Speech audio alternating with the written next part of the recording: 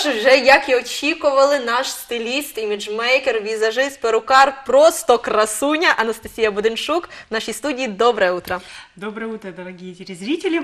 Сегодня я пришла с моей моделью Софией и хочу вам рассказать о том, как правильно накладывать румяна, как делать корректировку овала лица и как все-таки подбирать оттенок помады и какой консистенции.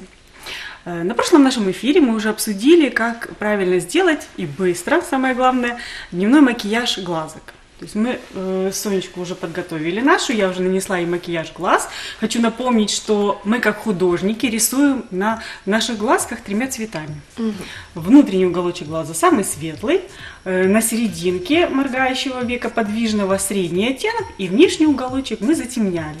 Втушевывали цвет в кла- в складочку либо впадинку века, между границей между подвижным и неподвижным веком. Глаз наш уже оформленный, он объемный. По такому же принципу мы будем работать и дальше со всем цветом лица. Итак, что же мы должны сделать для того, чтобы после нанесения тонального крема не образовывалась так называемая маска? Часто меня клиенты спрашивают, как, я же выровняла тон лица, я подготовилась, накрасила глаза и получила маску. Правильно, девочки, вы сделали себе, так скажем, нейтрализацию всех ваших впадинок и объемов. То есть Сделали себе луну. да, выровняли все объемы. Теперь их нужно вернуть. Э, Ну, на этой схеме я хотела бы вкратце вам сказать некоторые тезисы. Итак, вот таким вот оттенком, серо-коричневый, коричневый, для белокожих девушек я бы предложила вот этот оттенок. Называется он Tape of Contour. То есть о, о лице как раз контурирование цвета лица. Проложить теневую часть в районе линии роста волос в районе линии подбородка, то есть чтобы подбородочек немножечко отделялся от шеи, чтобы у нас не было так называемых головастиков, такой термин у фотографов есть. И мы прорабатываем подскуловую впадину, то есть делаем себе такие французские впалые щечки. Как же мы это делаем? Главное сделать есть- это правильно, потому что если переборщить, то ты уже матрешка, а не французские впадины. переборщ- Ну, опять же, подчеркну, я говорю не о румянах, не о вот этом розовом цвете. Это именно контурирование овала лица. Мы набираем немножечко цвета и начинаем двигаться от так называемого козелка уха. Это такое небольшое образование посередине ушка. Двигаемся по направлению к уголку, но заканчиваем на внешнем уголке глаза. Схематически я хочу вам кисточками показать. У вас будет образовываться вот такой вот треугольничек. Опять же треугольничек. Да, и именно этот треугольничек мы заполняем цветом. Самый интенсивный цвет будет у линии роста волос.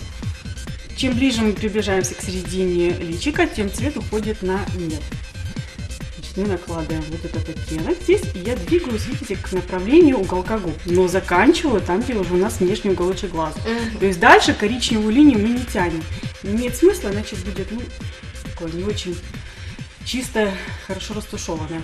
Э, правило растушевки. Обязательно эти зоны, если вы не хотите пудрить весь, э, всю поверхность кожи, весь овал лица, обязательно припудривать именно эти зоны, треугольник. Еще раз покажу, какие зоны. Вот эти вот зоны очень тщательно припудривать. Почему? Сухой продукт лучше растушевывается на сухом продукте. То есть я сейчас крашу так называемыми тенями, либо это корректирующие румяна, каждый по-своему это называет. Они сухие, то есть они лучше будут растушевываться на пудре. Еще раз повторю, самый интенсивный цвет накладываю возле линии роста волос, от козелка, такое образование в середине ушка, я двигаюсь к уголку губ. Но заканчиваю линию там, где закончился внешний уголочек глаза. То есть вот наш треугольничек. И прорисовываем. Прорисовываем. Для чего это нужно? Очень часто у меня задают клиентки вопрос, в каком направлении рисовать. То есть вот так, вниз или вот так. Девушки, это все зависит от овала лица. Чем длиннее личика, необходимо горизонтальной линией немножечко разрезать длину. Значит, мы делаем больше горизонтальную линию. Если э, форма лица нам устраивает, нам не нужно делать меньше размер лица, то мы делаем уже больше вертикаль, то есть линия идет вниз. Для того, чтобы создать объем, мы использовали сейчас самый темный цвет. С- Следующий цвет уже будет промежуточный, средний по э, насыщенности. Это уже наши румяна. Очень часто подскуловую коррекцию путают с нанесением румян. То есть вот именно в эти зоны, там где должен лежать, грубо говоря, коричневый оттенок, мы накладываем розовый. Это все-таки немного ошибочно, это не всем подходит. Итак, зоны румян. Сейчас по цвету отдельно расскажу. Зоны румян. Улыбаемся.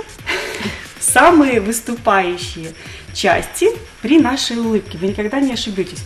Мы накладываем самый интенсивный цвет. То есть, грубо говоря, у нас будет кружочек и оттушеванный, опять же, в линию роста волос. Но есть золотое правило. Полтора пальца до крыльев носа и полтора пальца до нижнего, нижней линии ресниц. Роста Мгм. ресниц. Почему? Чтобы не был натертый носик, либо заплаканные глазки. То есть розовым цветом не подходите близко к крылу носа, либо к нижней линии ресниц. Улыбайся. Хороший лайфхак. Полтора пальца, чтобы отмерить. И улыбаемся. Да, да. Самое главное, что девушки, улыбаясь в зеркало, уже будут заряжаться хорошим настроением. Вот, этот средний оттенок мы наложили и точно так же уже втушевали в нашу подскуловую коррекцию, в этот коричневый оттенок. То есть плавные переходы. Я к вам, вас призываю к этому. Не забывайте о том, что очень важна растушевка, чтобы не было никаких... Улыбаемся.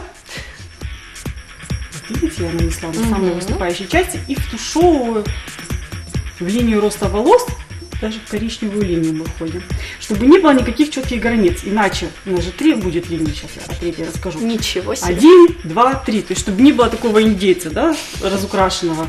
Поэтому один цвет плавно стушевывается, переходится в другой. А вот по поводу цвета, я сказала, позже немножко скажу, но я смотрю, что ты смешиваешь целых три цвета, нанося на нашу модель. Да, ну я же визажист, мы художники, мы всегда мешаем. Это теплый оттенок. Это холодный оттенок. Это уже нейтральный переходящий цвет между холодным и теплым. Почему я смешала теплый и холодный оттенок? Для того, чтобы макияж получился более универсальным. Какую я помаду буду красить, я еще пока не знаю. Это будет как вдохновение придет. Поэтому, если вы тоже не определились, какую вы будете использовать помаду, смешайте теплый и холодный оттенок теней. Почему мы привязываемся к помаде? Потому что тоже такое золотое правило. Цвет помады мы подбираем в оттенок румян, то есть интенсивность и температуру. Сколько интенсивные румяна, а также интенсивная будет и помада. Третья полоса, светлая. Тоже такой лайфхак. Э, Визажисты профессиональные используют так называемые структуры, шиммеры, либо хайлайтеры. Они могут быть э, жидкие, могут быть сухие. В каждом случае это все подбирается индивидуально, ну, грубо говоря, даже кому что удобнее, скажем так. Так вот, этот шиммер такое создает свечение кожи изнутри. Мы можем прокладывать конкретно уже на выступающей части нашей щечки. То есть вот эта вот косточка надскуловая, это и будет нашим третьим цветом. То есть мы уже создали объем. Здесь мы затемнили, здесь мы положили цвет розовый, средний. И уже здесь непосредственно возле э, глазок на косточке накладываем наш блеск, наш шиммер. А вот что дает этот блеск, э, кроме того, что он придает здорового сияния кожи? Объем Объемчик. И мы отвлекаем, ну, это не Сонин вариант, от синячковой зоны внимания. То есть глаз интуитивно э, начинает рассматривать, что же это блестит. Если синячковая зона у нас не так удачно, хорошо закамуфлирована, то э, мы оттягиваем внимание от нее. Берем себе Сияние. совет к вооружению. Да. Э, ну, возрастные модели, так называемые, у которых девушки, женщины, у которых уже появились какие-то определенные морщинки, гусиные лапки. То же самое, это отвлекающий маневр, то есть гусиные лапки, они немножечко выше находятся, а здесь вот этим вот сиянием мы отвлекаем внимание от, от гусиных лапок. А вот по поводу девушек с проблемной и жирной кожей, которая жирнится, не придаст ли этот блеск э, отрицательного? Опять же, да, эффекта. хотела сказать, что ко всему нужно подходить индивидуально. Лучше не использовать, если уже имеется ну, какой-то блеск на лице, который вы не, не нейтрализовали, потому что его можно на самом деле нейтрализовать. Но если этого не удалось, если тональный крем и пудра не справились, то, конечно же, шиммером лучше не подчеркивать это. Итак, эм, что актуально для фотосессии? Обязательно нужно расставить светлые акценты. Мгм. Обязательно высветлить зону лба, спинку носа и э, зоны под глазами. Для чего? Потому что когда на нас светит камера, э, создается такой отблеск своеобразный, и свет камеры отражается как раз вот от этих зон, которые мы высветлим. Человеческому глазу, ну, они не так бросаются в глаза, а вот для фотосессий, для видеосъемок это очень актуально. Как мы можем еще подкорректировать форму либо разре- размер носика? Высветляем спинку носа, а объемы, которые нам не нужны, уводим в тень. То есть э, темные цвета, они же всегда у нас уводят в тень. Примерно вот такой вот оттенок. Это тоже теплый коричневый оттенок, который родственный коже. То есть холодные оттенки в этом случае использовать не надо. Я просто наношу на крылья носа. Это если бы нам очень было актуально у Сони уменьшить размер. Получается такой еще более миниатюрный носик. Опять же все грамотно, правильно растушевать, чтобы не осталось никаких полос. Вот. И зону высветления, как я уже говорила, под глазами.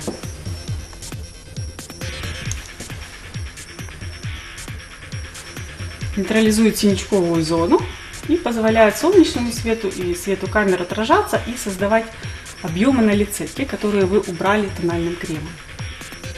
Есть еще так называемый прием э, в нанесении румян, поцелуй солнцем.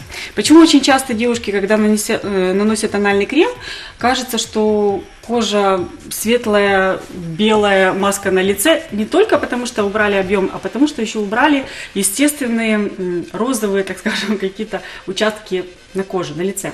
Мы нанесли розовый оттенок в районе щечек и уже совсем небольшим продуктом, оставшимся на кисточке, все выступающие части лица. То есть все, что у нас открыто солнышку, так называемый поцелуй солнца. То есть я буквально совсем немножечко сбрызнула вот этим розовым оттенком, поэтому уже будет меньше э, плоской, плоскости, так скажем, на лице. Объемы мы для нашей свечки создали. Но теперь, как мы обещали нашим телезрительницам, будем создавать макияж для губ. Да, теперь мы переходим к губам. Э, Что я хочу сказать? Обязательно пользуйтесь контурными карандашами. То есть помада, которая нанесена без контурного карандаша, она, к сожалению, расплывается, форму не держит. э, И нет такого аккуратного уже нанесения макияжа. Я брала для Софии натуральный оттенок карандаша. Опять же, я не знаю, какая будет помада, но цвет карандаша нужно подбирать цвет помады. Легким движением я обвожу контур ее губ. Корректировки губы не нуждаются, но если у вас, дорогие телезрительницы, есть какие-то моменты, которые нужно подкорректировать, допустим, более объемная нижняя губа, менее объемная верхняя. Как мы это делаем? Буквально на полмиллиметра прорисовываем карандашом, либо корректируем цветом помад. Темный цвет всегда уменьшает объем, значит нижняя губа будет окрашена в более темный оттенок, а верхняя губа в более светлый. Помады я тоже смешиваю. Очень люблю э, карамельные оттенки, они достаточно нейтральные. И в принципе вот цвет губ Софии как раз сейчас и предполагает нам карамельный оттенок. Это опять же смешение теплого и светлого оттенка. Во внешние уголочки губ лучше проложить более темные оттенки. Это создаст еще большего объема. То есть если мы накрасим губы точно так же, как мы красили глазки, самый темный оттенок, середина посветлее.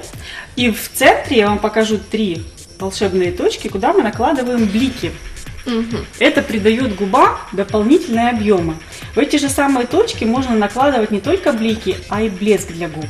То есть для того, чтобы губ не расплывался, тоже лайфхак это, лучше накладывать блеск не по всей поверхности губ, а именно в три точки. Он будет работать так как блеск и не будет расплываться.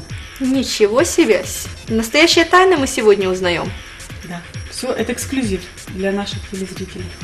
Наши николаевские телезрительницы теперь будут самыми-самыми красивыми, потому что они знают то, чего не знает никто. Наша визажист сегодня раскрывает профессиональные секреты.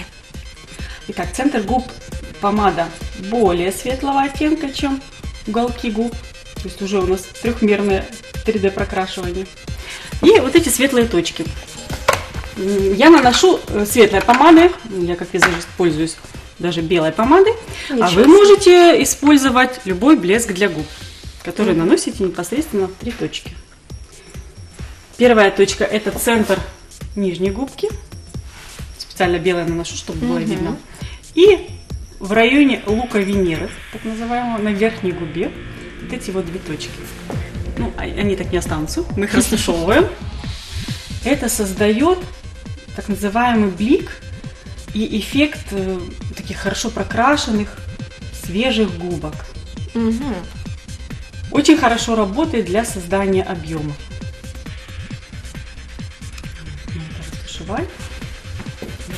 Красота.